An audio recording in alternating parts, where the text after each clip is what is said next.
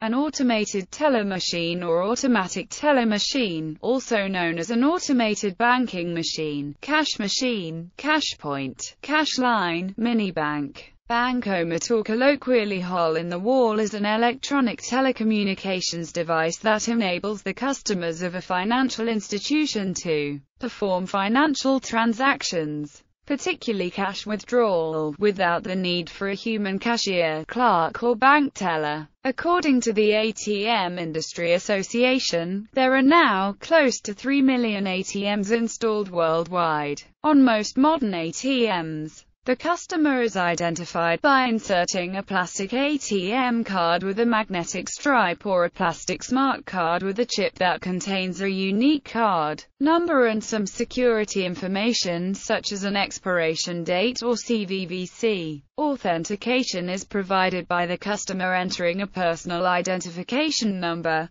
Using an ATM, customers can access their bank deposit or credit accounts in order to make a variety of transactions such as cash withdrawals, check balances, or credit mobile phones. If the currency being withdrawn from the ATM is different from that in which the bank account is denominated the money will be converted at an official exchange rate. Thus, ATMs often provide the best possible exchange rates for foreign travelers, and are widely used for this purpose. History The idea of out-of-hours cash distribution developed from bankers' needs in Asia, Europe and North America. Little is known of the Japanese device. In the U.S. patent record, Luther George Simjian has been credited with developing the prior art device specifically his 132nd patent, which was first filed on 30 June 1960. The rollout of this machine, called Bankograph, was delayed by a couple of years, due in part to Simjian's Reflectone Electronics Inc. being acquired by Universal Match Corporation. An experimental bankograph was installed in New York City in 1961 by the City Bank of New York but removed after six months due to the lack of customer acceptance. The bankograph was an automated envelope deposit machine and did not have cash dispensing features. It is widely accepted that the first ATM was put into use by Barclays Bank in its Enfield Town branch in North London, United Kingdom, on 27 June 1967. This machine was inaugurated by English comedy actor Reg Varney. This instance of the invention is credited to John Shepherd, Baron of printing firm De La Rue, who was awarded an OBE in the 2005 New Year Honors. This design used paper checks issued by a teller or cashier, marked with carbon 14 for machine readability and security, which in a later model were matched with a personal identification number. Shepherd-Barron stated, It struck me there must be a way I could get my own money, anywhere in the world or the UK. I hit upon the idea of the chocolate bar dispenser. But replacing chocolate with cash, the Barclays de la Rue machine beat the Swedish saving banks and a company called Metior's machine by a mere nine days and Westminster Bank's Smith Industries Chubb system by a month. The online version of the Swedish machine is listed to have been operational on 6 May 1968. While claiming to be the first online cash machine in the world, the collaboration of a small startup called Speytec and Midland Bank developed a fourth machine which was marketed after 1969 in Europe and the US by the Burroughs Corporation.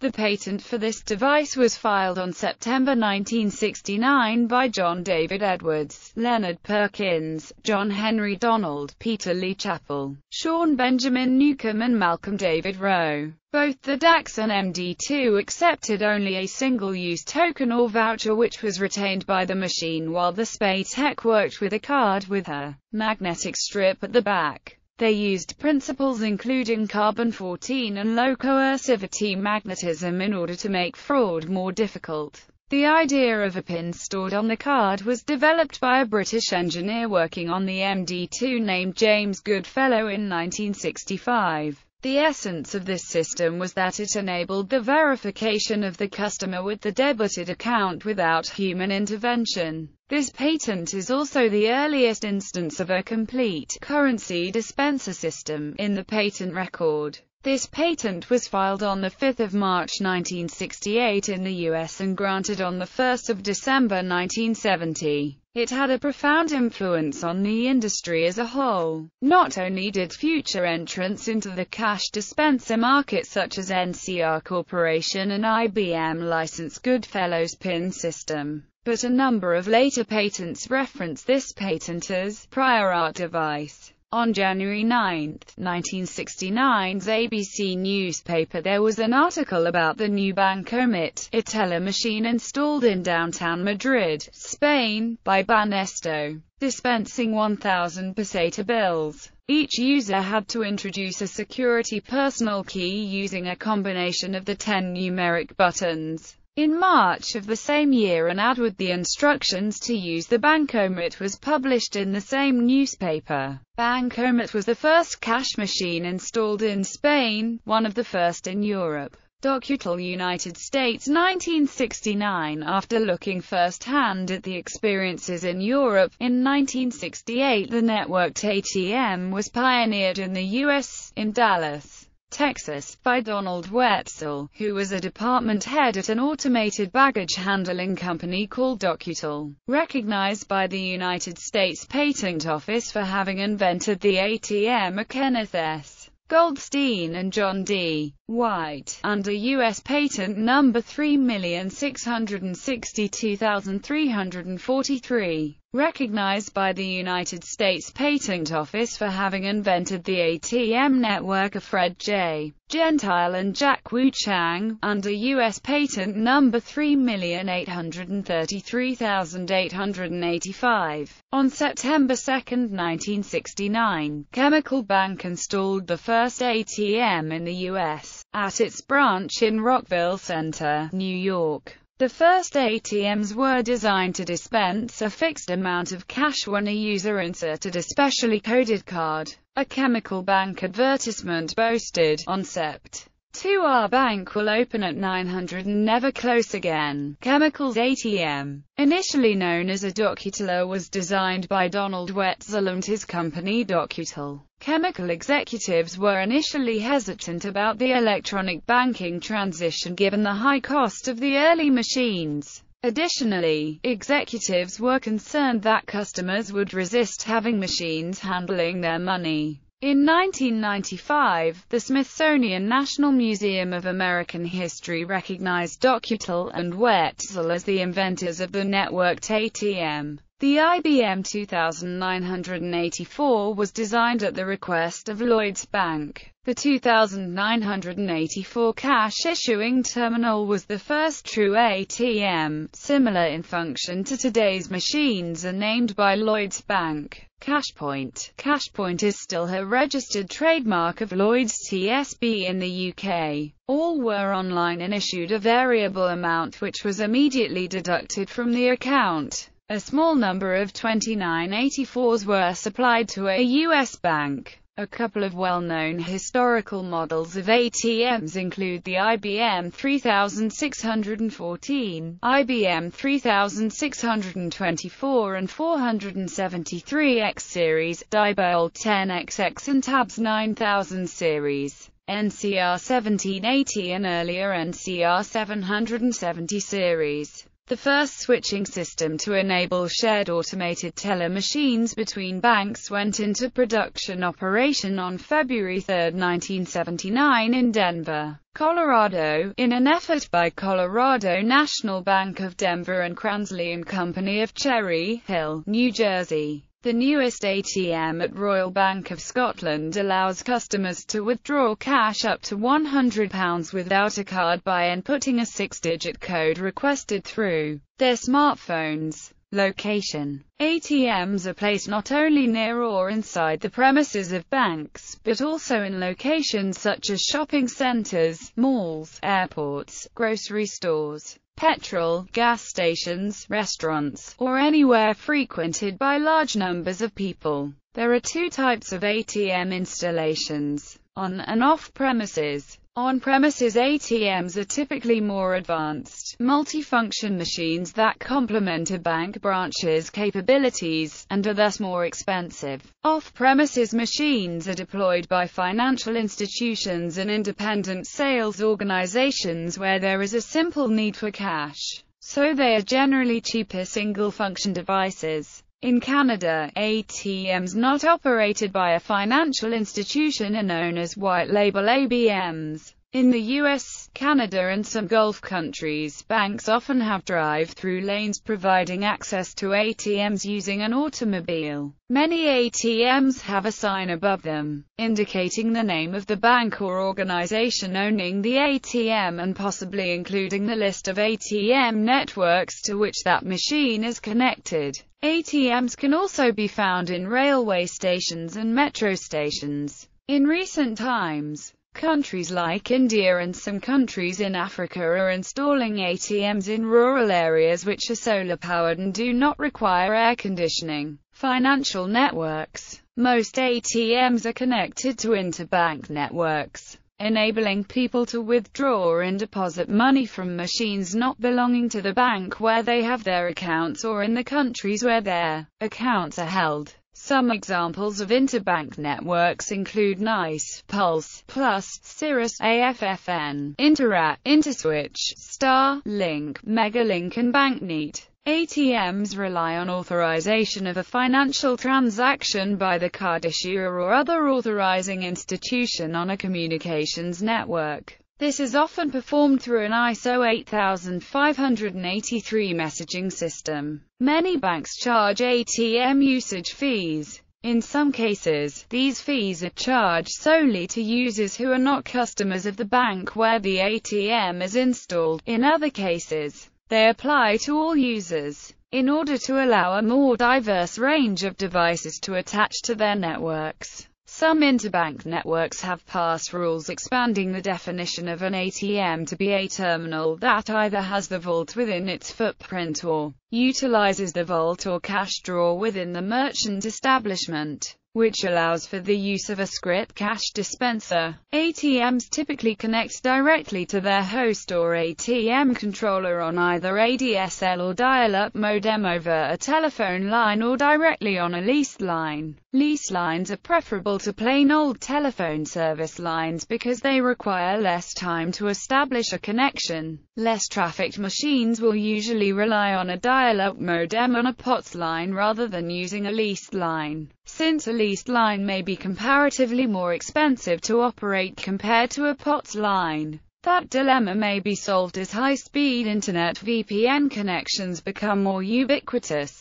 Common lower-level layer communication protocols used by ATMs to communicate back to the bank include SNA over SDLC, TC500 over Async, X25, and TCP IP over Ethernet. In addition to methods employed for transaction security and secrecy, all communications traffic between the ATM and the transaction processor may also be encrypted using methods such as SSL. Global use there are no hard international or government-compiled numbers totaling the complete number of ATMs in use worldwide. Estimates developed by ATMIA place the number of ATMs in use currently at over 2.2 million, or approximately one ATM per 3,000 people in the world. To simplify the analysis of ATM usage around the world, financial institutions generally divide the world into seven regions.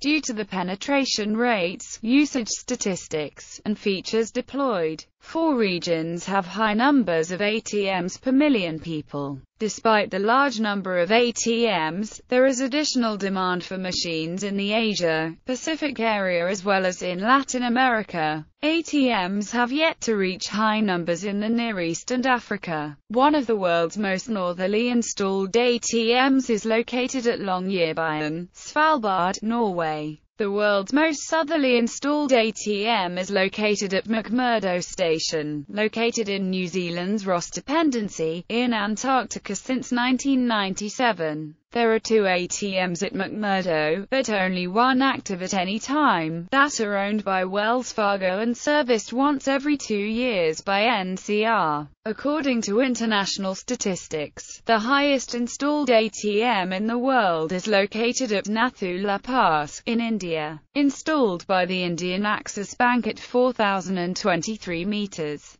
According to the mainland Chinese media and CPC statistics, the highest installed ATM in the world is located in Nagchu County, Tibet, China, at 4,500 meters, allegedly installed by the Agricultural Bank of China. Israel has the world's lowest installed ATM at Ein Bokek at the Dead Sea, installed independently by a grocery store at 421 meters below sea level. While ATMs are ubiquitous on modern cruise ships, ATMs can also be found on some U.S. Navy ships. Hardware An ATM is typically made up of the following devices. CPU, magnetic or chip card reader, pin pad EPP4, manufactured as part of a secure enclosure, secure crypto processor, generally within a secure enclosure, display, function key buttons or a touchscreen, record printer, vault, housing,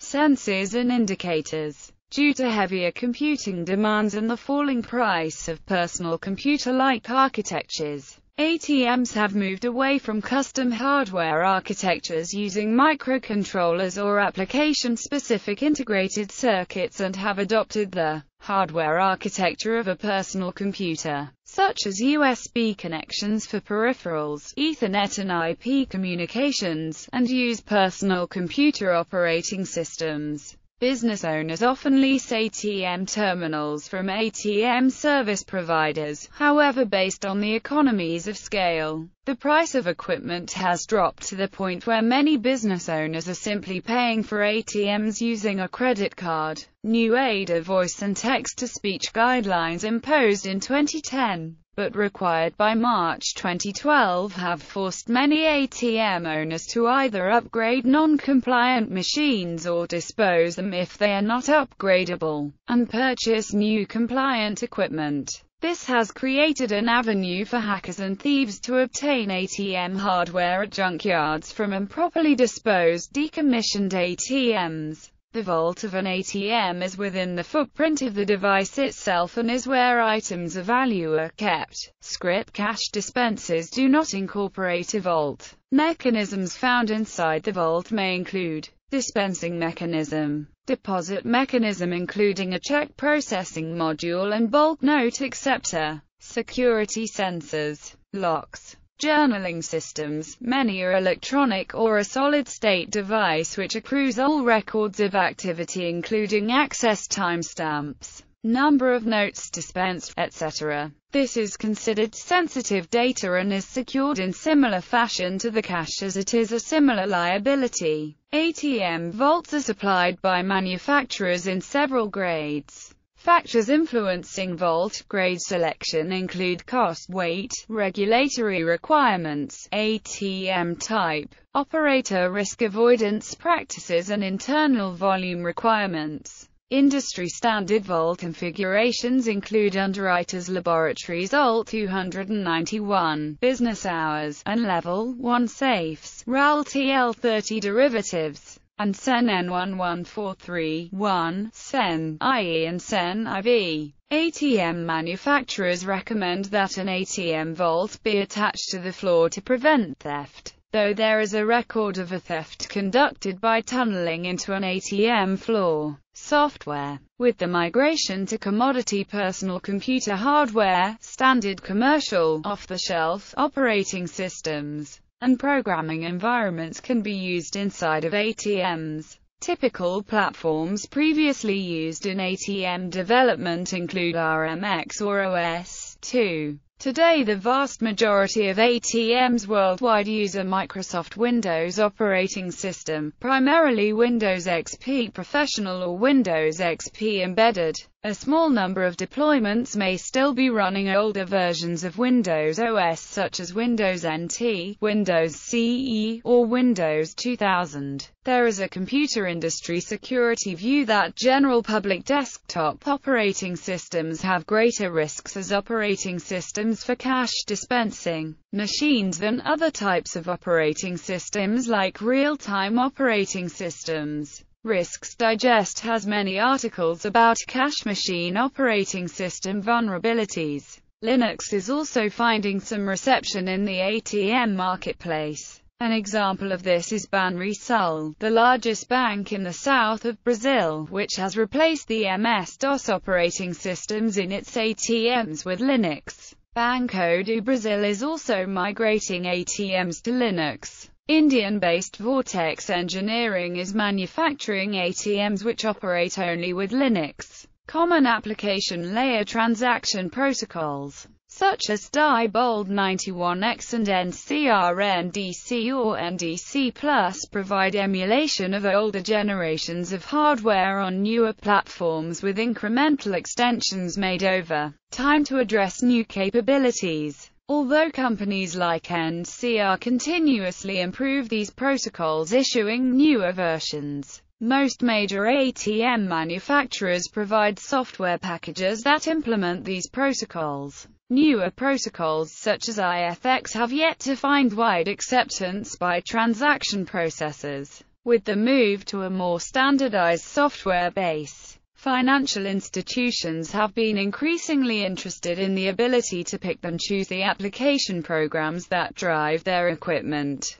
WOSA XFS, now known as CEN XFS, provides a common API for accessing and manipulating the various devices of an ATM. J. XFS is a Java implementation of the CEN XFS API, while the perceived benefit of XFS is similar to the Java's write once, run anywhere mantra. Often different ATM hardware vendors have different interpretations of the XFS standard. The result of these differences in interpretation means that ATM applications typically use a middleware to even out the differences between various platforms. With the onset of Windows operating systems and XFS on ATMs, the software applications have the ability to become more intelligent. This has created a new breed of ATM applications commonly referred to as programmable applications. These types of applications allows for an entirely new host of applications in which the ATM terminal can do more than only communicate with the ATM switch. It is now empowered to connect it to other content servers and video banking systems.